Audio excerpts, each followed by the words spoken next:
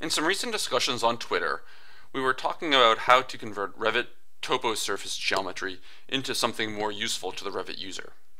One idea was to convert the topo into a shape-edited floor. We will review how that can be done in this video. And to learn how to write the code yourself, take a look at this new course at Udemy from Boost Your BIM. Use the coupon code here to save 50% for a limited time.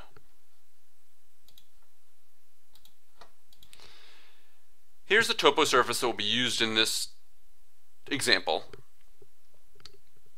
In this view, the topo surface is shown, and a second 3D view has been created with the topo surface turned off for easier display of what will happen.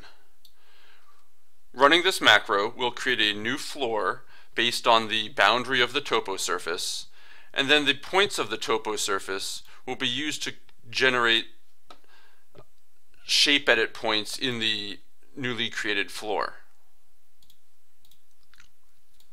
So now, we'll run the macro, select the topo surface, and wait a few seconds for the floor to be generated and the shape edited points to be added. So we see now on the left our newly created floor, and on the right the topo surface used to generate it. Repositioning the windows and rotating the views allows us to see that the geometry of the floor in this top window and the geometry of the topo shown below match because of the XYZ points from the topo used to generate the shape edited points in the floor.